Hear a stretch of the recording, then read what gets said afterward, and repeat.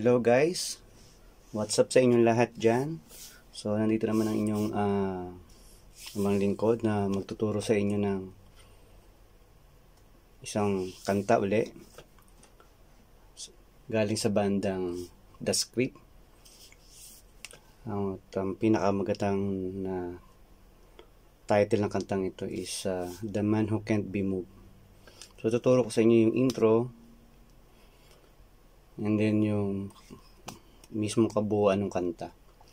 Okay so mga pala so guys huwag nyo palang kakalimutan na mag subscribe sa aking youtube channel. So paki pakihit lang yung button sa bandang taas para maging uh, para maging update kayo sa mga susunod ko pang mga videos. Okay guys so simulan na natin ha? So ito na. So ang umpisa is Actually, ang chord is G. Magsimula man tayo sa G. Ito. G chord. Ang gagawin natin is plucking na muna. Isa-isa. So, simula ako sa 6 string. So, isa-isa ko. Bagalan ko lang. Next. Yan. Ito yun. Okay? So, 6 string. 4th string. 3rd string. Isa pa. Tuwing ko lang. So, ito na yan.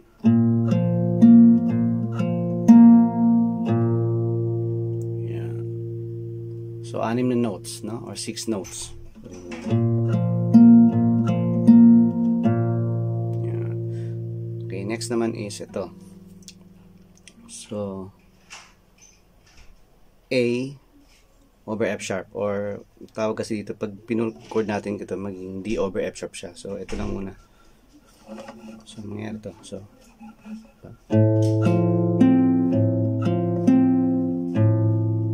So same strings lang din yun ha.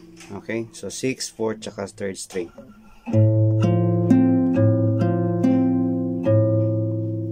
Then sunod naman is C major 7 to. So, bababa ko na yung thumb ko sa 5th string.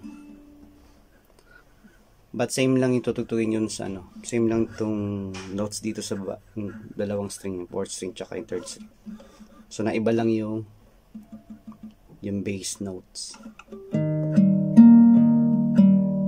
Then, yung last is ito yung 7th note.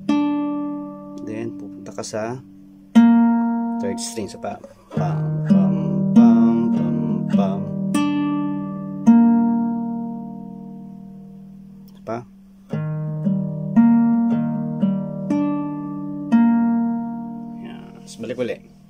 so intro tsaka verse magagamit nyo tong chord na to. So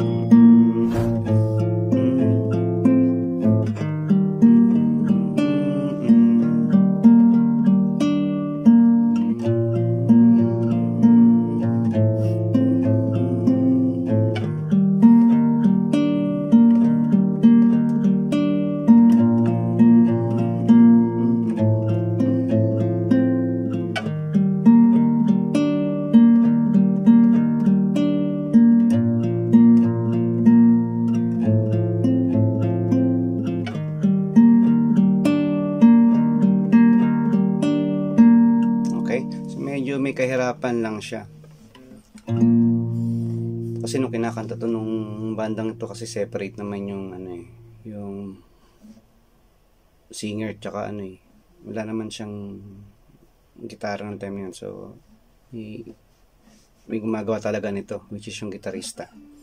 So, kung ikaw lang mag-isa, medyo mahirap lang talaga. So, unless talagang kabisado mo yung lyrics at saka to by heart yun lang. Medyo komplikado siya. Pero yun lang. Masa matutunan nyo na to.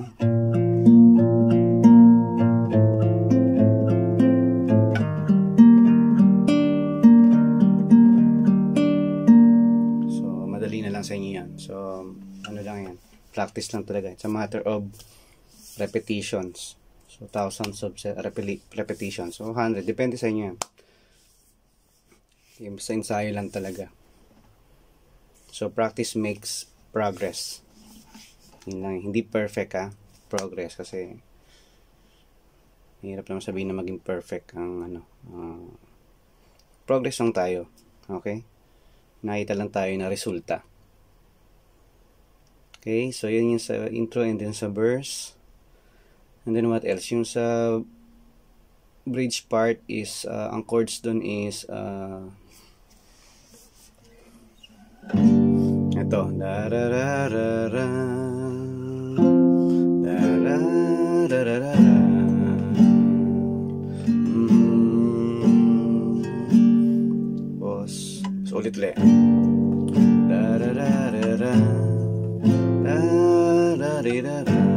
So, pwede rin D or pwedeng ito ha.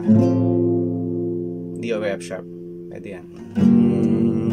Tapos, Da da da da C major 7. Then, or pwede to, chord na to, or pwedeng D.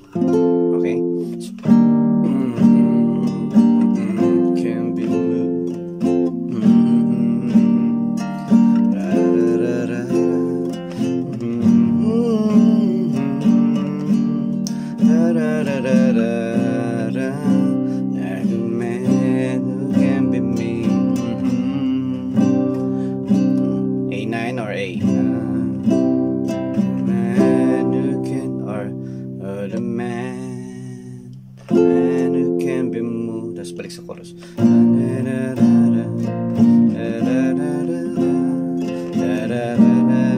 minor 7 then C major 7 then baby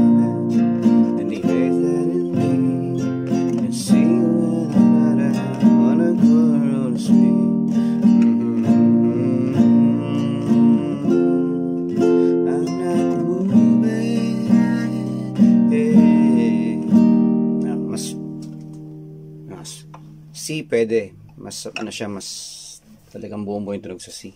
Si major 7 pwede rin naman.